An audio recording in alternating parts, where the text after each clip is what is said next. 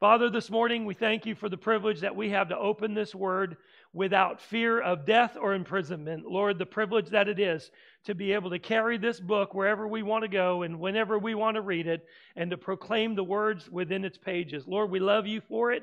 We thank you for it, but Lord, let the pages come alive today. Let the words jump off this book, and Father, that they might come to us in a way that strengthen us but Lord, that might carry us through the next situation. That might be what we need to face, what is coming next. That, Lord, we'll be able to defeat the enemy in every aspect that he comes at us. And Lord, we know he's out to seek and to destroy us. But Lord, we know that our fate, our, our destiny is in you. And so, Lord, we're grateful for that this morning. Lord, speak to us now. In Jesus' name we pray. Amen. So, we want to look this morning at the, the enemy of apathy. Uh, the enemy of apathy. And when we talk about apathy, we're talking about a lack of passion, um, a lack of excitement. Uh, there's just sort of like the blah. When you think of blah, I, I think of certain things I don't like to do, like math. I, I'm apathetic to math. I don't like the word. In fact, I worked all morning on saying the word because normally I choke on the word math. It's just something I don't like. I know it's necessary, and in order to sustain life, you have to utilize math. It's funny, I don't do a lot of it. In fact, when we when the kids are in school, especially now with Elsa, it, there's all kinds of new math. I mean, what's with that? What was wrong with the old math? You know, adding and subtracting. Leave it at that. Why do you have to do more? But now they added letters to it, and I just don't care. You know, I think if you're going to blend English with math, you, you've missed something, and I just don't think that they should be together. So, do I have any amens from those still in school? They're all quiet. Amen. There you go. So anyway, I, I know there's things that we become almost almost conditioned to, and yet there's the, the, the attitude or the approach of apathy. So in the book of Revelation, chapter 3, verses 15 to 16, it says this I know your works that you are neither hot, cold nor hot. I could wish that you were cold or hot, so that when you be, when so that because you are then lukewarm, you're neither cold nor hot, I will vomit you out of my mouth. So, when we talk about apathy, we're talking about a lack of passion and we're talking about being lukewarm. Now, I, I, how many have ever had to, you know, take lukewarm water? And I mean, this is awful. I, I, I don't like coffee lukewarm. Now, I can drink it cold and I can drink it, drink it hot. But it, in that in between stage is sort of like blah. That's what God's referring to this, this apathy, this lack of passion when it comes to the church. There, there should be a genuine excitement in every believer's life that we have something that others don't have. When we have come into a, a, a, relationship with Jesus Christ, we're now in a position or a posture of receiving things from God that we don't necessarily deserve. There's nothing we can do that merits anything that God does for us. And yet we are, we've just become so conditioned to it. In fact, to the point that we, we sometimes can come, I'm going to say this, probably offend everybody in the room. That's okay. We'll come through the doors of the church with an expectation of what is going to happen. To the point that we're so conditioned, well, we're going to do this and we're going to do that. We're going to, we're going to stand up here, we're going to sit down here. We're going to sing this song, we're going to say this verse. There's such a routine that we become almost conditioned that it becomes just so lacking the connection to it. You know, I prayed this morning the privilege that we have to carry this book around. The privilege that we have to own this book. And many of us probably have more than, a co- more than one copy at home. So if I were to do a poll this morning, I would say, how, if you have more than one Bible, would you raise your hand? So go ahead. Raise your hand if you have more than one copy of the Bible at home. Amen. How many have more than five copies of the Bible at home? Yeah. Now, I, I could go on all morning, okay? I have 16 different Bibles downstairs in my study. Okay? Now you're saying, well, how many? Well, why, why do you need so many? Well, some of them are falling apart, and I just, I don't know what to do with an old Bible but put it on the shelf, right? So you have these things, and, and they're precious, and they're just full of the same information that's in this book. Why would I keep it? Because I recognize that this is God's Word and the privilege. This is just one aspect of our journey. The privilege and the joy that it is to have this book in my possession is something we as Americans have gotten almost lazy about. You know, there's something to be said about the Word of God. But that's just, again, one aspect of our journey. How about the, the power of prayer? How many have ever had an answer to prayer? Anybody? Amen. I, I mean, we've experienced that. That's huge. That, that's not a little thing. When we connect to the Father and we say, I need, you got to get me out of this, you got to help me through this, you're going to help me face this. And it may not be exactly what we pray, but God brings us through and answers us. Man, we know beyond the shadow of a doubt that there is a God, He's real, and He heard me and He moved me. That ought to excite us. And yet we get to a point in our Christian journey that we just sort of go through these motions and there's no joy. There's no connection to the Creator. I'm still in awe many times when I get on my face before God and I realize that I have an audience with the guy that put this world into motion, that breathed life into our bodies. And I'm now talking to him because I got to tell you, he's more famous than anybody I'd ever imagine.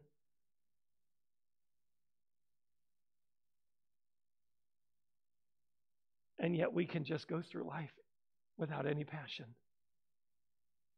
Be so and and and Jesus said, I'd rather you be cold. Just just be completely turned off. Just let go of it. Don't play this half and half. See, the real enemy we're fighting is sort of within ourselves again. We talked about these before. They're within us. They're, they're behaviors that are common to the old man. Paul says, Daily I need to crucify my old self. The old man, I got to get rid of him. Every single day he pops his ugly head up to remind me he, who he was and what he was capable of doing, and I've got to get rid of that. I got to crucify him. And there are some days where I, I I'm just going to be, you're going to think I'm a little twisted, but there are days I enjoy nailing that, that guy to a cross.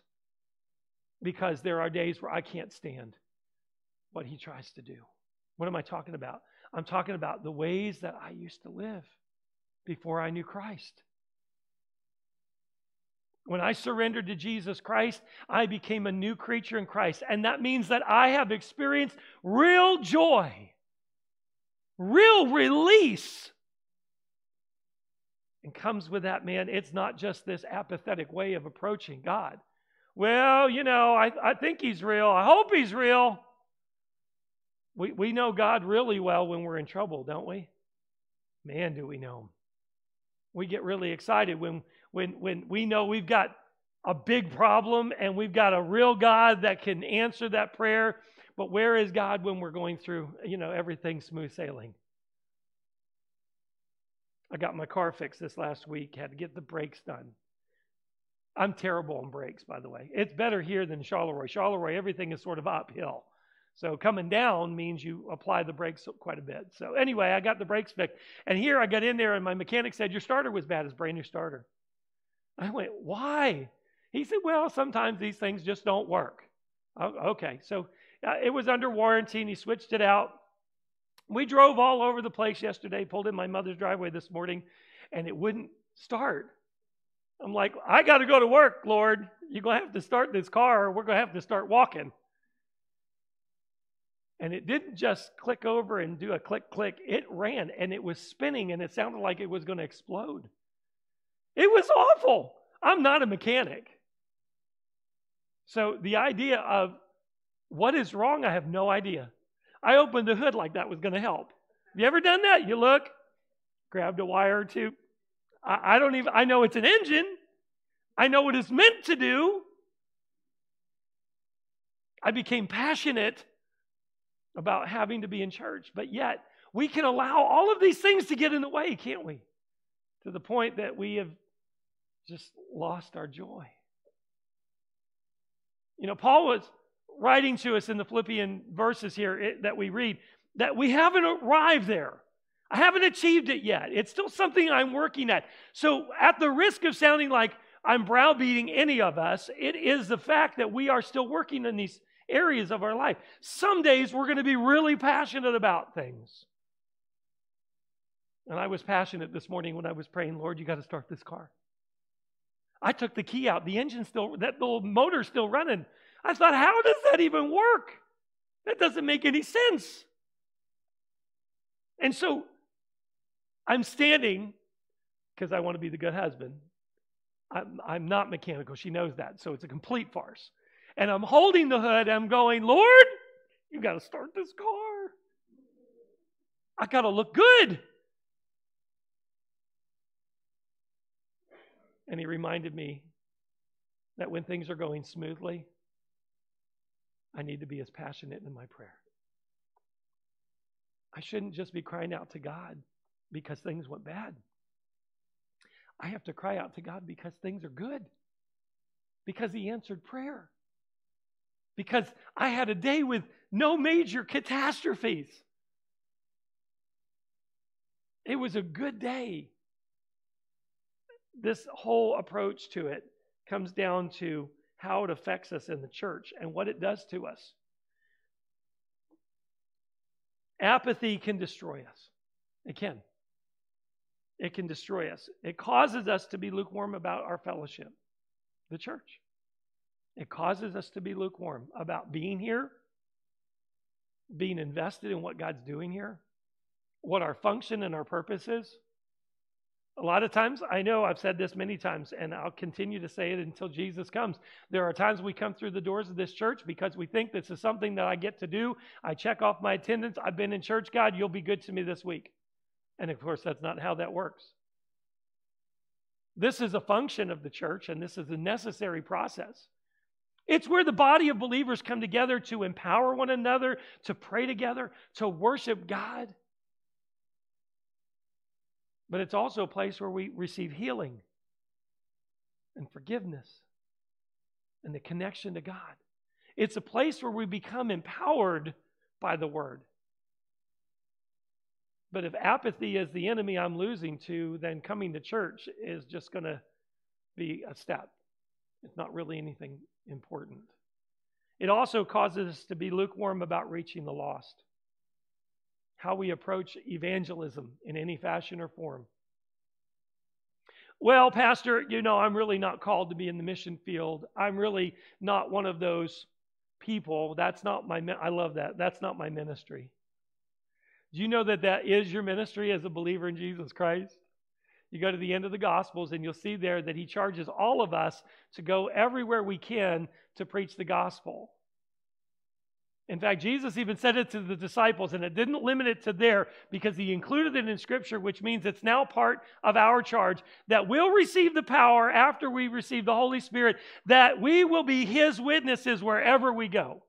Now, we may not be the people that travel overseas or go here or there or different places in the world in, in an evangelistic approach to things, but everywhere we walk, live, and breathe and exist, we are to be a representative ambassador for Jesus Christ.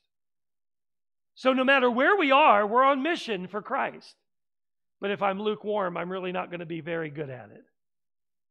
I'm going to sort of look at it like, well, somebody else will talk to them about Christ. Have you often wondered, maybe you haven't, and I'll spark some thought today.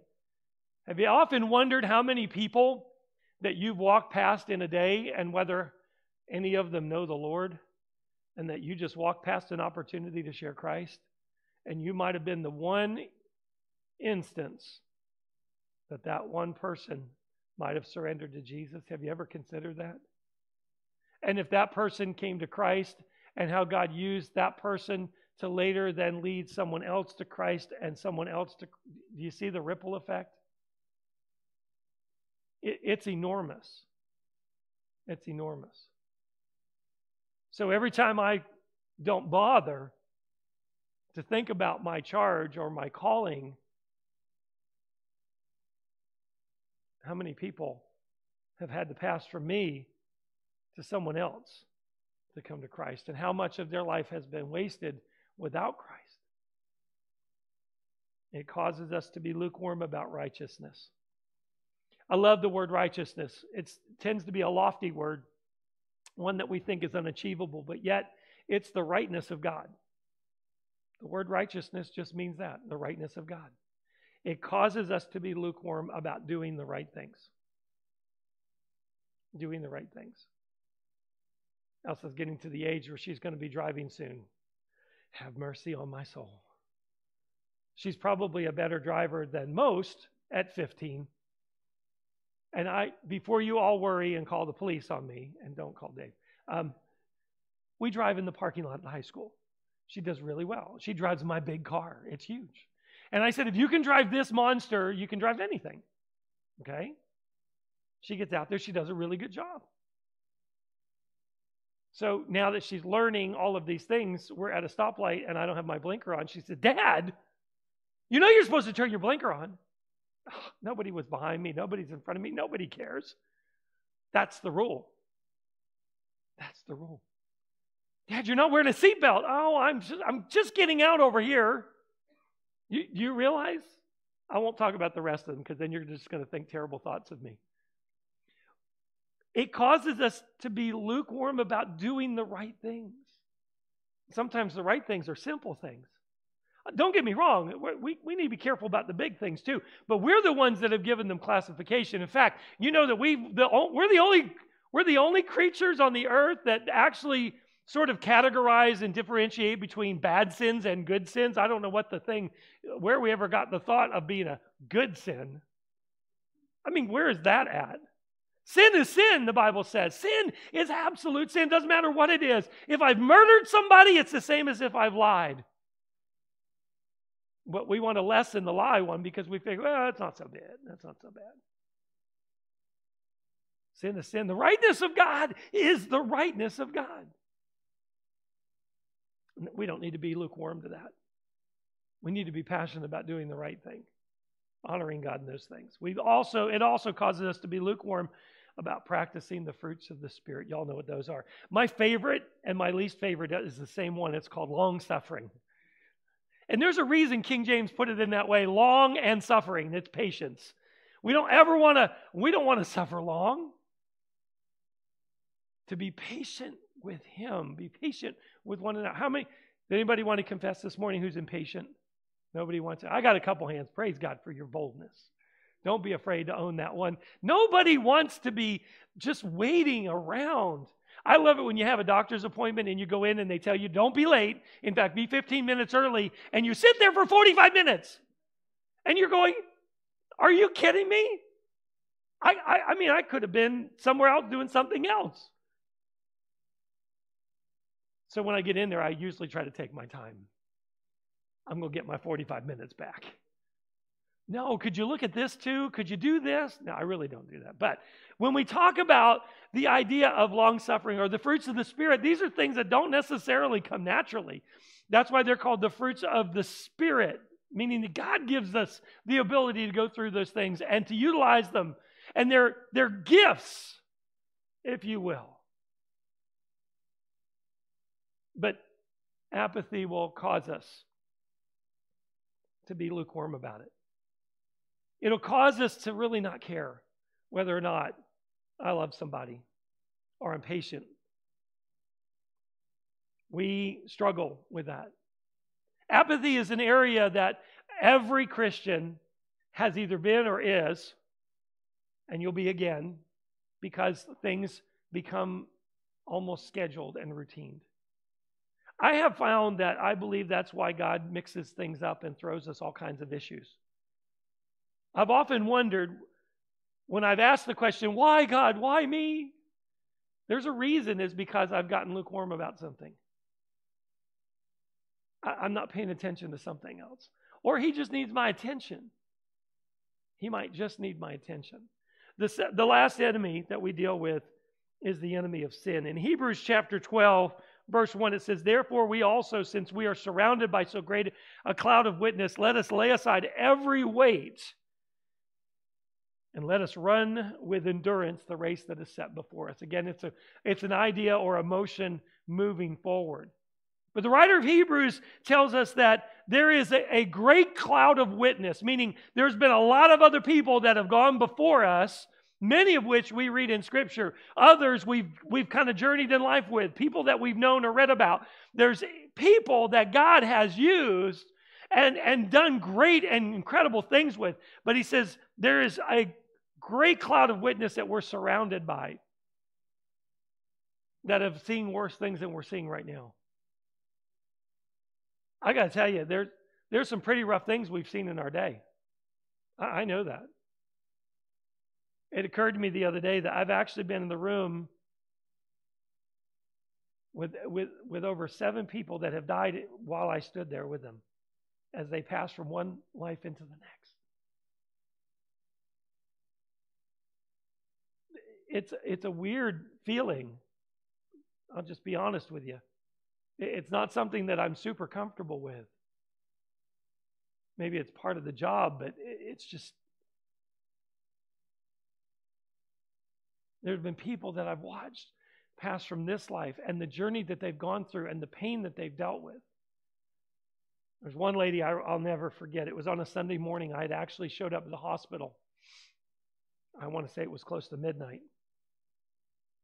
And the doctor said it's just going to be a matter of minutes. And so I'm flying up the highway to get there. I will be honest and confess I did not use the speed limit.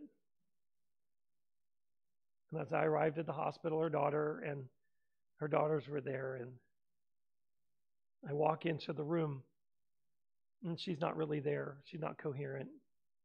Of course, her daughters are crying, and, and I take her hand, and we begin to pray.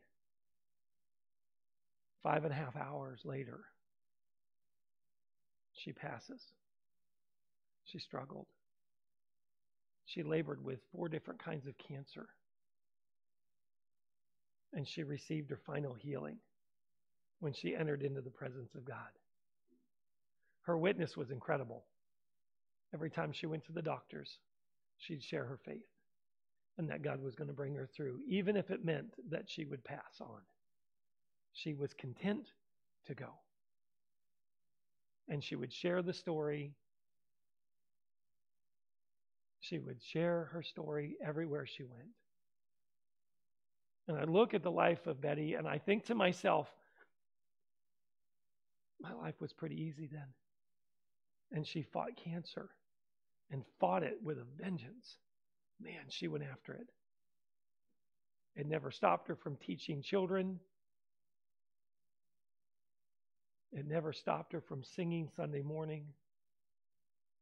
And as long as she could physically get to church, she was in church. And she would smile at you and through her pain and not care one bit. the cloud of witness, that's just my story. There's others. Hebrews gives us all of these great uh, members of Scripture that have gone on. We think of Abraham and Moses. Think about Abraham. Oh my goodness, think about him. God comes and said, Listen, I'm going to move you, but I'm not going to tell you where you're moving. I mean, how many of us would be up for that? We'd be, I, no, no, no, no, no, no. I, I, I got to know where we're going. I'm going to move you, and I just want you to pack up.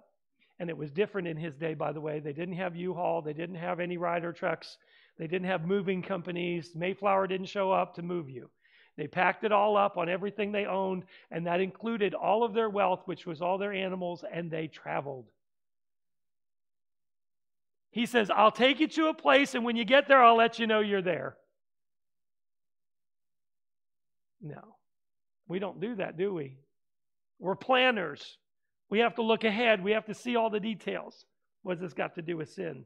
Because uh, what we're dealing with, there are many that have gone before that have failed, and their failures are there as an example and a reminder. One of the great members of faith that we think of is David. He was a man after God's own heart. And yet, we always rem- we're reminded of his great and hideous failure when he dared to do what he did. He didn't just sin, but he kept sinning and get it, it got worse and worse. First, he has an affair, then he lies about it, then he tries to manipulate the situation, so he brings Uriah home, and then he ends up killing him. Man, if if if it just snowballed like that all the time, well, we're there.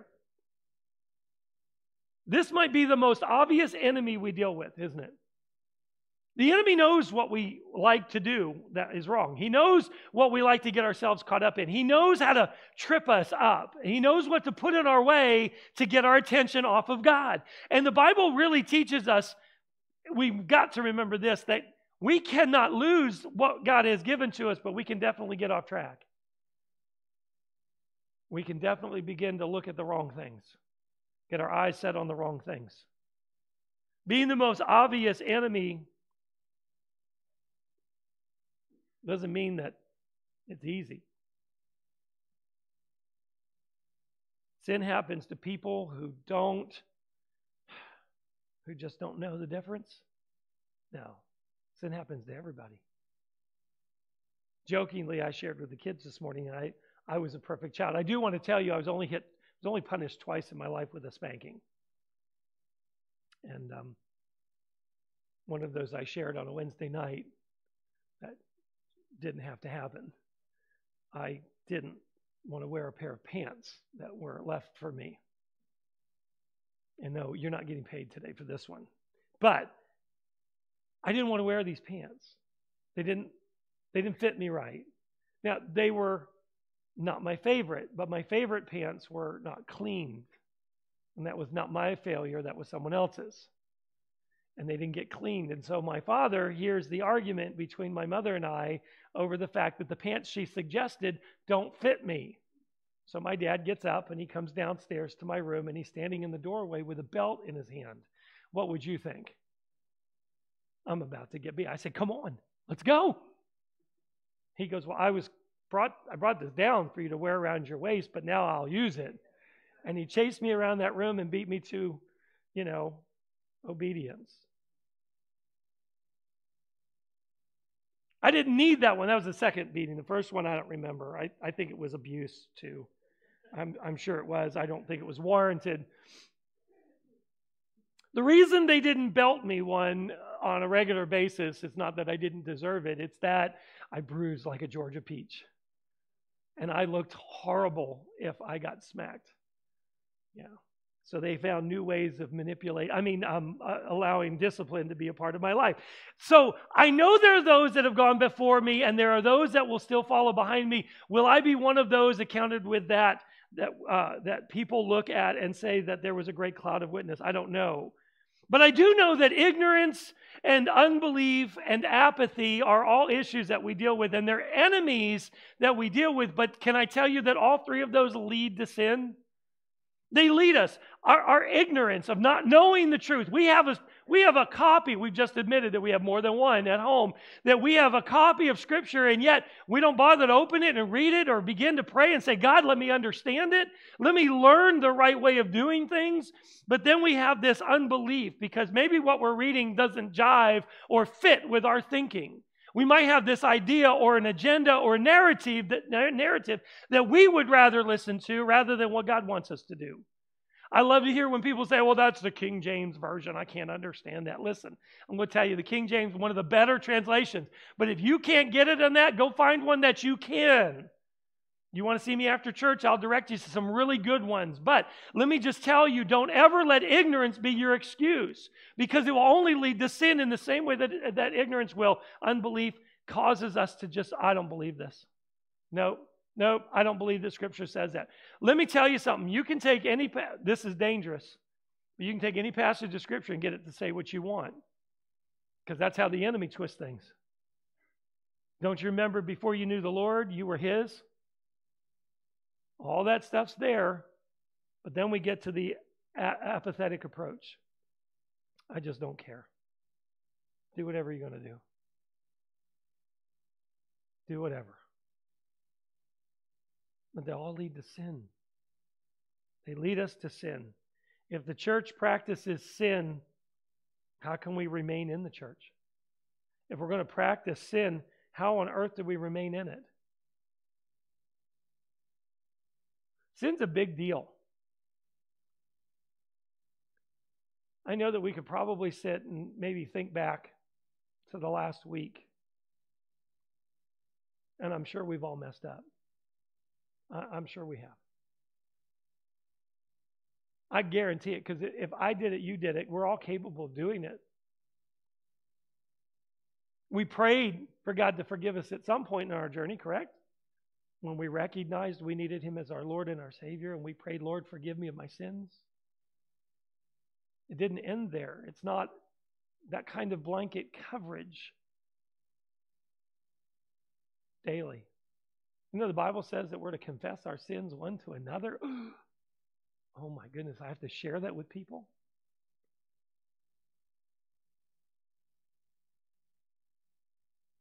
Sin, if undealt with, festers.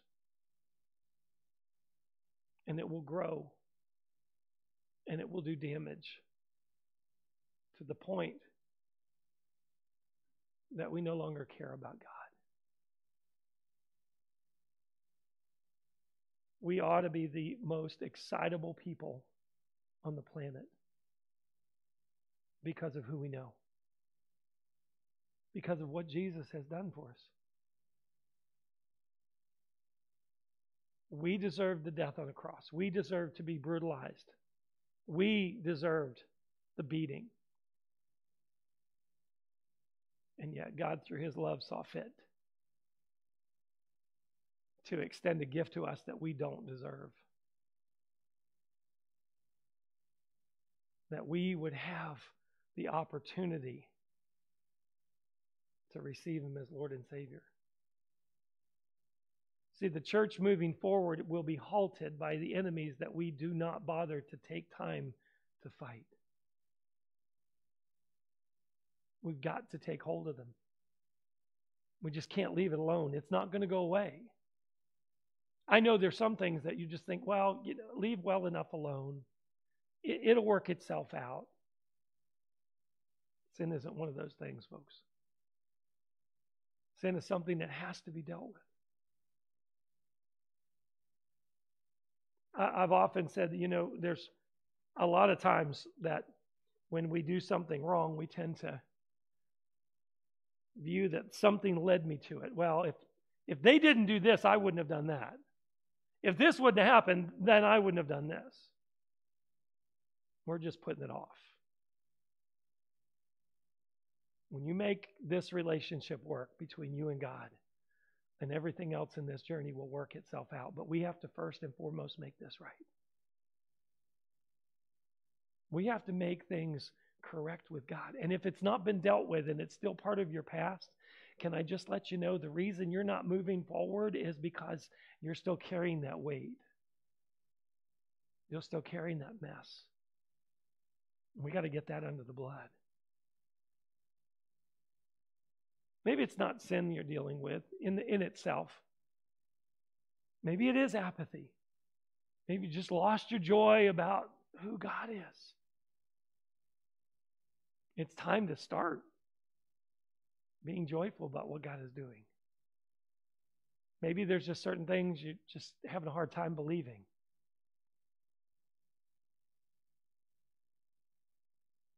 Or maybe ignorance is the one. I read in my Bible that we have an, an incredible power in Jesus Christ. The Bible says in the book of Acts that we will receive the power, the ability not just to be a witness, but beyond that, to exist and journey with Christ. That means in the name of Jesus, I can move these things out of my way. I can move ignorance out, I can move unbelief, I can move apathy, and I can move sin.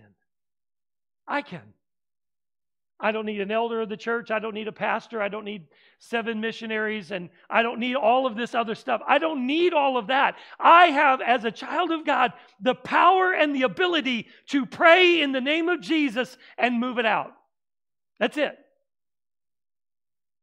I hope that's not the first time you've ever heard that. I think a lot of Christians walk through life thinking they need so many, so many other steps and some formula to make it work but in the name of Jesus, I can move this out so that I can move to what's next. What is next? To be joyful in the Lord, to be excited about what He's doing, to be ready for whatever change He requires. Because the change in my life is daily. It's not just my plans, it's what is He going to teach me today? What is he going to teach me? Not every not every day is filled with joy. Sometimes I have to lean on the Lord for that. Not every day is full of worship. Not every day is I'm going to say it. Not every day is full of reading the Bible. Some days I, I, I'm, I can't stop. There's so much happening. There's days where I just need to surrender and say, God, I'm done. I can't do this without you. In the name of Jesus, take what I'm dealing with and defeat this enemy and move him. Now, listen to me. That sounds great. That sounds awesome, Pastor. I'm going to do that right now. But listen, that doesn't mean the enemy won't try again. He's going to come at you, and he's going to come at you, and he's going to come at you. Just because we've prayed doesn't mean he stops fighting. Because the end of his story is coming quick. The Bible says there's a day coming when the sky is going to open and God's going to call us home, and it's going to be the end of the end of the end. And I'm going to tell you what, man, that is something to get excited about. But until that day, I will be battling and fighting this enemy, so I can't let my guard down. I can't move past this. I got to remember what it took to get through this so I can defeat these enemies every time they show up. Just when I think I've won, someone else is going to poke its ugly head up, and I'm going to deal with that one now. Whatever it is, God is faithful. God is faithful. And He doesn't leave us, He's always by our side. Let's stand and close in prayer. Lord,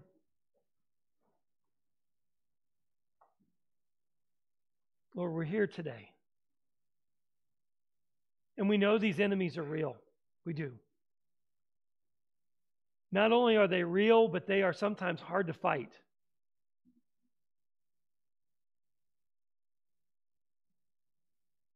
Grant us the strength to not only acknowledge the enemy and declare war, but Father, that we might see it through. Help us to fight the good fight. Help us to press on to the prize that you have before us. Let us remember that we're not the only one fighting this fight, that, Lord, you have sent others ahead and shown ways of dealing with it. Help us, Lord, to focus on you. Be reminded that you've gone before us and you've laid out a way. We pray this in Jesus' name. Amen.